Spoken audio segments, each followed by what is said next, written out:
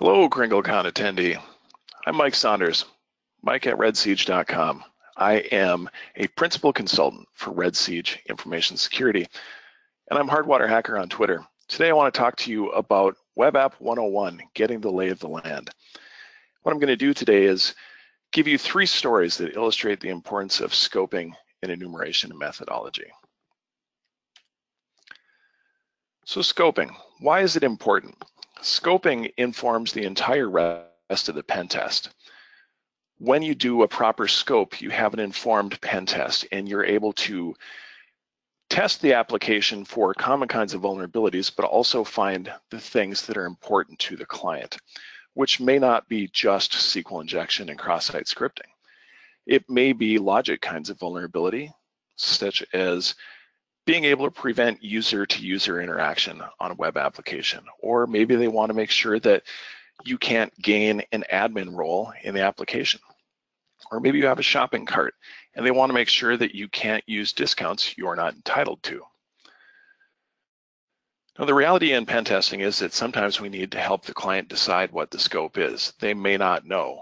Uh, they may have had an auditor tell them, hey, you need to have a pen test done, and that's all the information they have.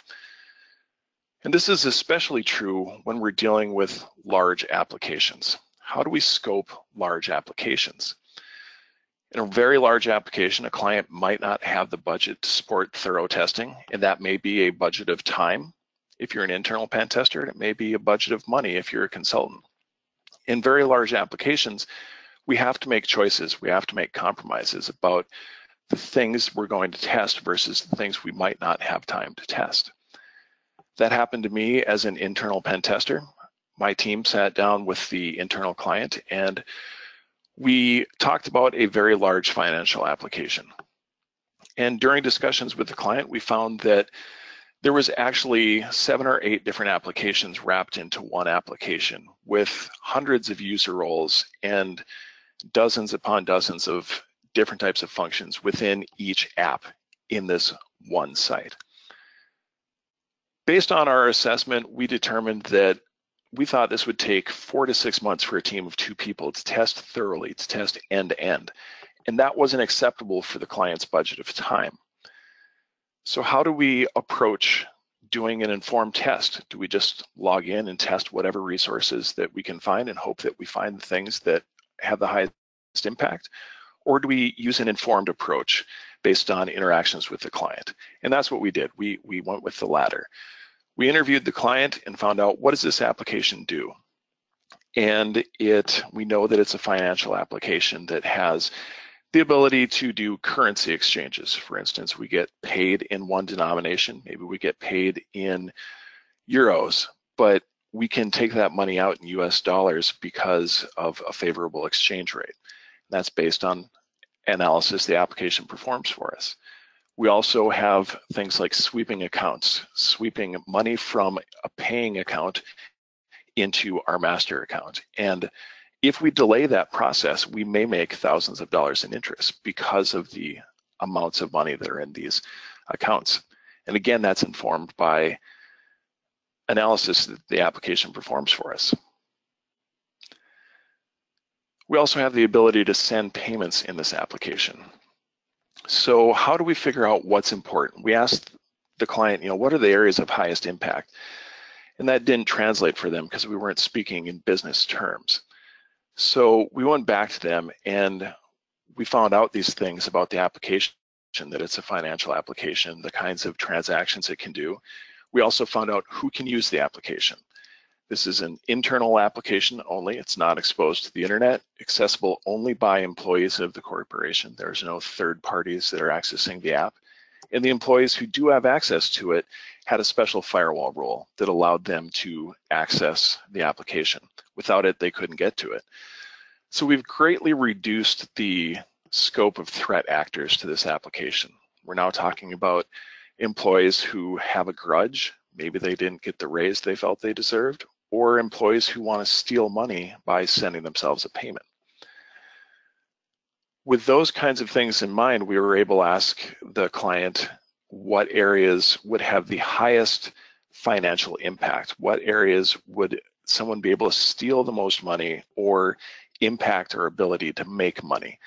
And then they understood what we were asking and they were able to put together a list of functions within the application that had the highest potential for damage if they were exploited.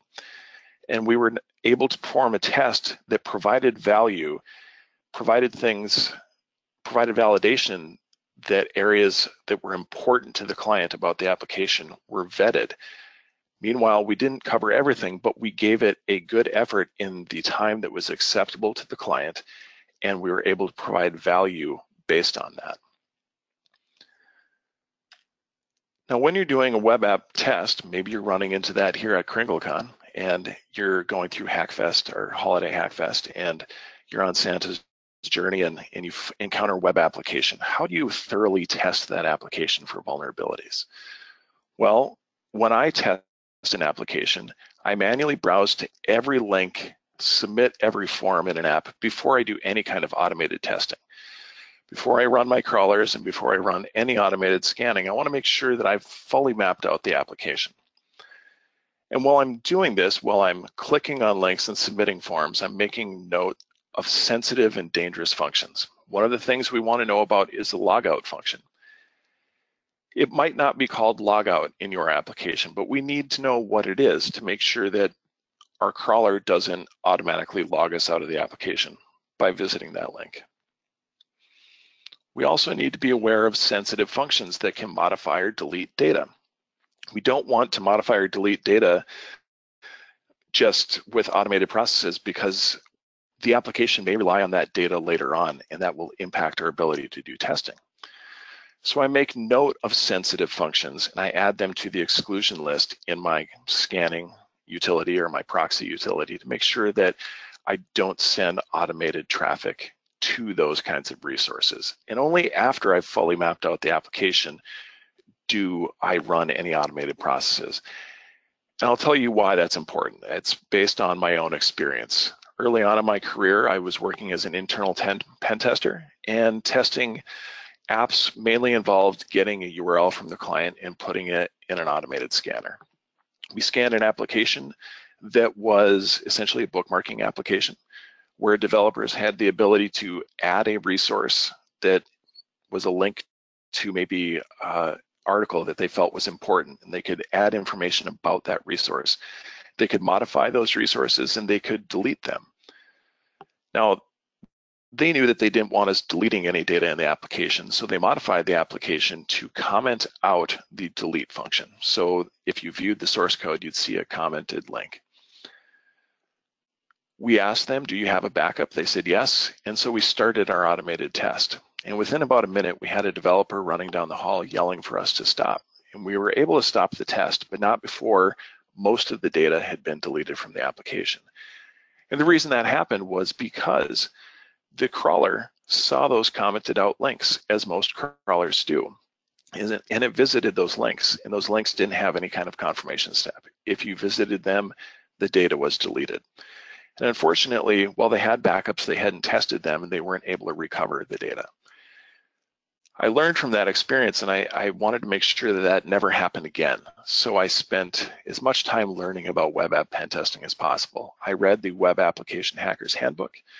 I watched as many YouTube talks as I could. I attended SANS training and I learned about the process of enumeration, the methodology of doing pen testing.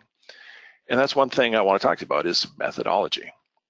Now, when I'm crawling and doing my enumeration, I always have two, two windows open. One is my browser and one is my proxy. And as I'm navigating through the application submitting forms, I'm looking at every request and every response that's coming back in my proxy. In my requests, I'm looking at the parameters to see what parameters are unique, what parameters kind of exist across all portions of the application. Are there significant cookies that I need to pay attention to?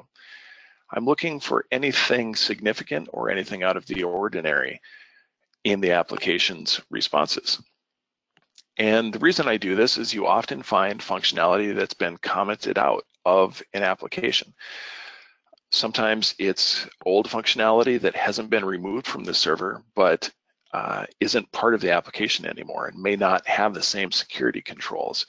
So it's commented out, but if you were to access it directly, it would, the server would serve up that content. Same thing goes with pre-production content that's been staged on a server. It may be commented out.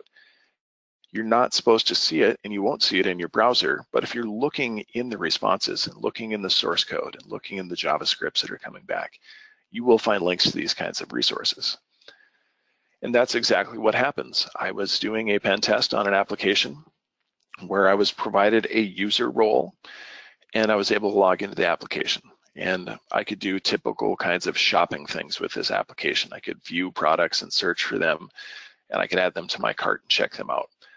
I didn't have any admin functions and I couldn't see any in the browser. However, when I was looking in the proxy and looking at my responses, I was able to see that there were JavaScript files being sent back. And those JavaScript files contained what appeared to be admin functionality. The crawler did not detect this, did not send me any links to, hey, here's the admin section in your application.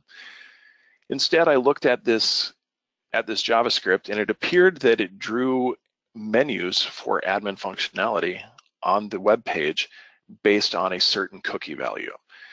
Upon further inspection, I realized that there was a cookie that was being set when I logged in that said whether I was a user or an admin.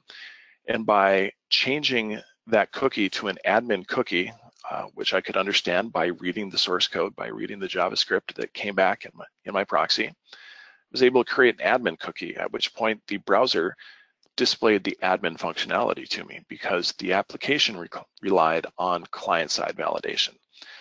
And I was actually able to take full admin control of the application because I was looking in the proxy and seeing that. My scanner didn't find any vulnerabilities and my crawler didn't find any admin functionality.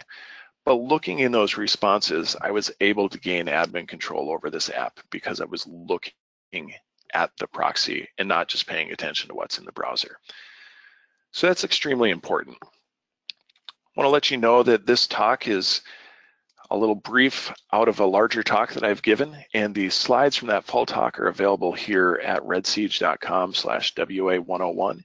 And you can find the talk on YouTube. It's been recorded a couple of times where I go into a lot more detail about scoping and methodology and enumeration. And I also provide some tips and tricks that make my life easier on a day-to-day -day basis as a web app pen tester.